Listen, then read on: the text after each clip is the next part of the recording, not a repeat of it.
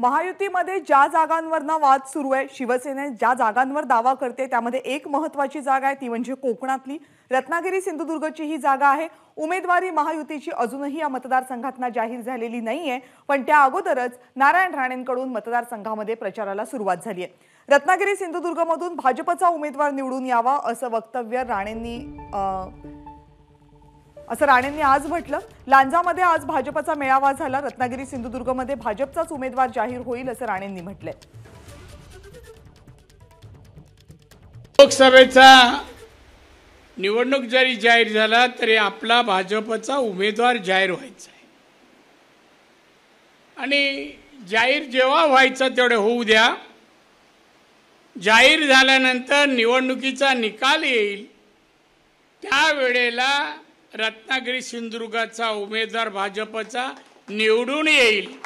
आणि यावा याची पूर्वतयारी करण्यासाठी म्हणून आपण आज इथे जमलेलो आहोत. त्याला आता घरी बसवायचा आपण निर्धार करा. एक सांगत होतो आणि थांबलो.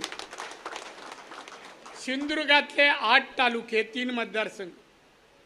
राजापूर चौथा आहे.